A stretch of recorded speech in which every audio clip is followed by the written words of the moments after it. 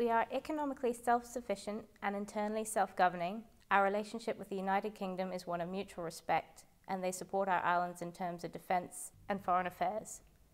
Our democratically elected Legislative Assembly writes the laws of the islands and sets the policies by which we live.